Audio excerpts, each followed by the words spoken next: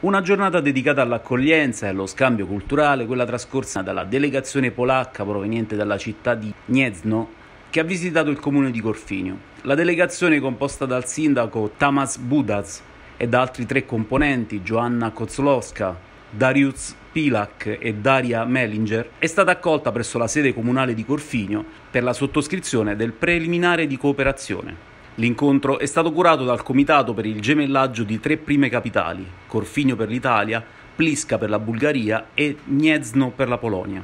La delegazione bulgara è stata in visita a Corfinio nel settembre 2022, mentre la delegazione polacca è giunta nella Conca Peligna il 6 luglio scorso.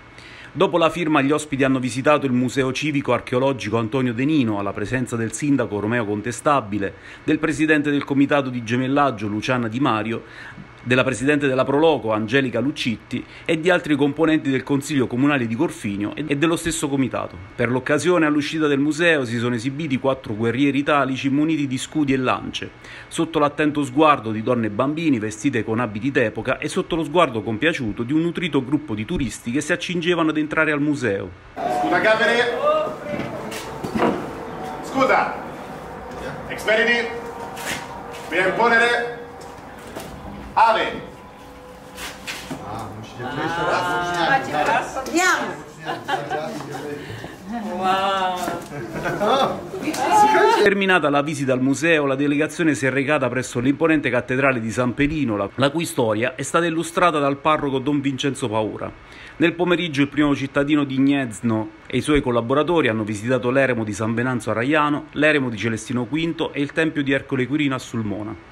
Buongiorno, oggi è un giorno importante per Corfinio, stiamo iniziando una serie di gemellaggi con la Polonia e con la Bulgaria e vogliamo allargare la nostra, la nostra partecipazione come Corfinio a livello europeo.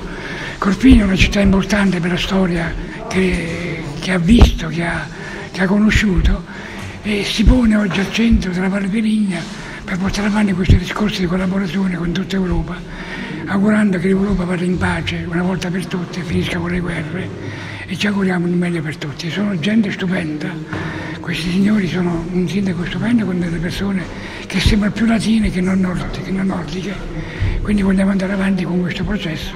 Abbiamo avviato l'iter questa mattina per eh, fare il gemellaggio con la prima capitale polacca, eh, ampliato nel senso che eh, precedentemente lo abbiamo eh, già fatto con la prima capitale eh, bulgara, quindi eh, adesso insomma collaboriamo con queste due nazioni per completare insomma, il gemellaggio in un, in un senso